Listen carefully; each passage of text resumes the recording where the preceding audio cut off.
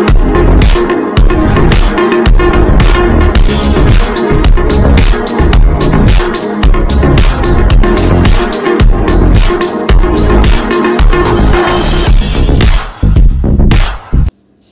sejahtera berita hari ini.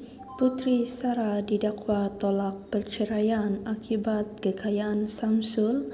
Tak sangka pengurus tampil bersuara buat ramai terkejut.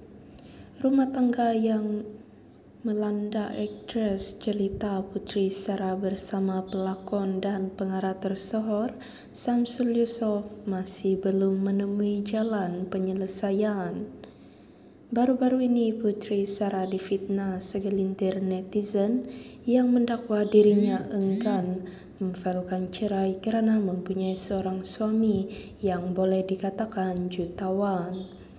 Susulan itu, pengurus kepada Putri Sarah iaitu Amy Mat Rozeki tampil bersuara dengan membalas komen netizen yang sengaja mereka cerita. Saya yang du kira duit dia, saya tahulah dia tak heran pun title kaya tu. Tetapi dia bekerja sangat keras untuk berada di tempat dia sekarang. Tahap kerajinan dia boleh kalah orang lain, mak tabik yang tu sangat-sangat. Jadi yang tak tahu jangan main reda tulis sampai makan diri, tulis